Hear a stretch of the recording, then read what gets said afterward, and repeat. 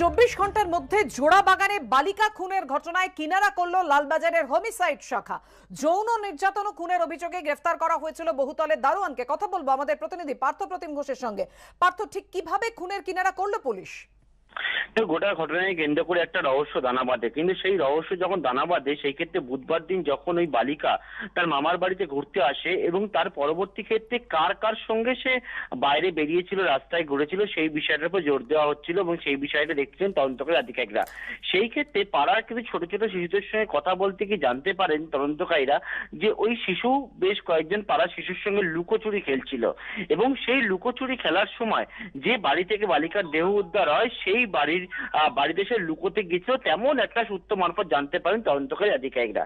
এইখান থেকেই কিন্তু গোটা ঘটনাটা সম্পর্কে একটা মোড় ঘুরতে শুরু করে এবং তদন্তকারী আধিকারিকরা যে বাড়িতে দেহ উদ্ধার সেই বাড়ির প্রত্যেককে জিজ্ঞাসাবাদ করতে গিয়ে জানতে পারেন, ওই বাড়ির ওপরের তলায় থাকেন রাম কুমার নামে এক দারোয়ান, যিনি বাড়ির দারোয়ান। তিনি গতকাল সকালবেলা যখন গোটা বিষয়টা জানাজানি হয়, তখন তিনি সেখানে উপস্থিত থাকলেও পরবর্তী ক্ষেত্রে তিনি কিন্তু তার কর্মস্থলে চলে যায়, অন্য একটি প্রাইভেট সংস্থা যেহেতু কাজ করে।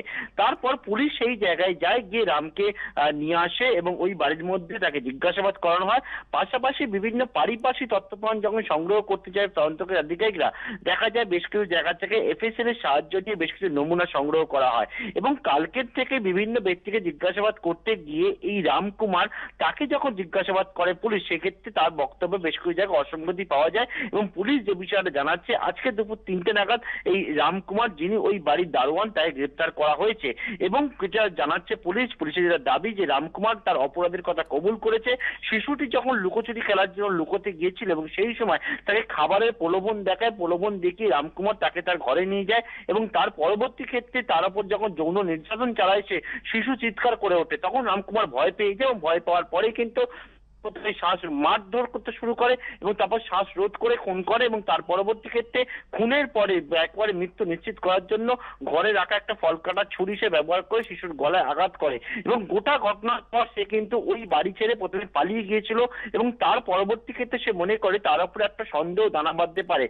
এবং পুলিশ সূত্রে জানা যাচ্ছে সে বিভিন্ন জায়গায় ঘোরাঘুরি করার পর দেহ যে জায়গায় পড়ে রয়েছে সেই জায়গায় সে আবার ফিরে আসে এবং ফিরে আসার পরবর্তী ক্ষেত্রে কালকে সকাল সকলে যখন হুলস্থল কাণ্ড পড়ে যায়, তারপর সে তার কর্মস্থলে চলে যায় এবং এই জায়গা থেকে পুলিশ জানাচ্ছে, তাকে গ্রেপ্তার করা হয়েছে ধৃতের বিরুদ্ধে শিশুর ওপর যৌন নির্যাতন এবং খুনের অভিযোগে মামলা রুজু করা হয়েছে। কাল তাকে ব্যাংশাল আদালতে পেশ করে সে নিজেদের হেফাজতে গোটা তদন্ত প্রক্রিয়াকে এগিয়ে নিয়ে যাবে লালবাজারের গোয়েন্দারা। ধন্যবাদ, পার্থ।